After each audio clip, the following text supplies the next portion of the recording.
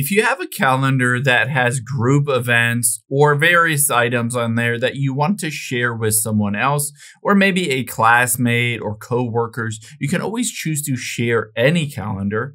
To be able to do that, we first need to head into the settings app. So open up the settings app on your iPhone and tap on your name at the very top of your iPhone. Now from here, you can see midway down is iCloud. We need to get into the iCloud and turn on iCloud Calendar to be able to sync and share it.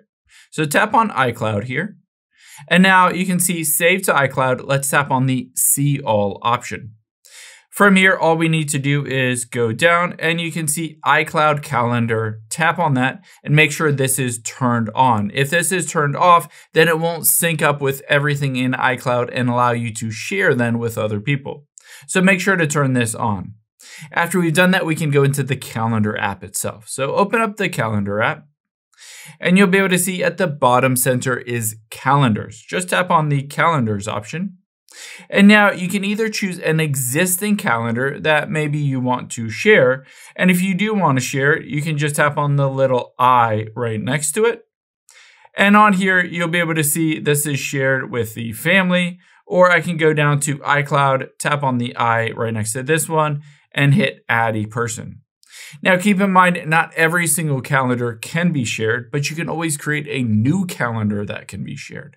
So tap on the add calendar at the bottom left. And then you can see it says add a family calendar, add a subscription. I can just, just, just choose the add calendar here. Now you don't need to add a family calendar if you have an iCloud family setup that will share it with your iCloud family. But you can see this calendar name. Let's say on here, I'm going to say this is named soccer games. And on here, you can see accounts. I can choose different accounts, but let's hit add a person. And on here, I can just start typing someone's name. So if I type in their name and tap on it, you can see I can just hit add.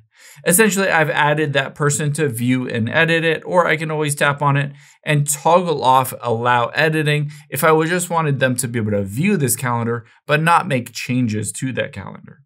Now from here, after you've added everyone that you want to, you can share, change the shared events, show changes, the color of it, notifications for events, and all that stuff. Just hit the done button and done.